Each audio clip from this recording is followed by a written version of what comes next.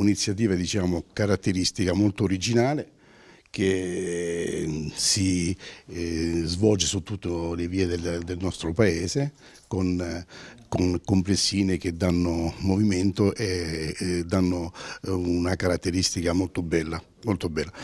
È originale per il semplice motivo che anche caratteristiche perché anche quest'anno ci occupiamo del sociale, c'è una raccolta fondo per la Caritas. E non si tratta di un semplice aperitivo, una semplice degustazione, eh, ma anche un carattere sociale. L'anno scorso abbiamo coinvolto l'AISM eh, con una grande riuscita e un grande successo, quest'anno abbiamo coinvolto la Caritas, quindi saranno raccolti dei fondi eh, a favore delle persone un po' più svantaggiate, quindi per tale ragione si chiama Social Street, ma anche per cercare di far socializzare tutte le persone eh, di San Donofrio ma anche delle frazioni che stanno vicino a San Donofrio. Il programma dell'evento è molto ricco e variegato.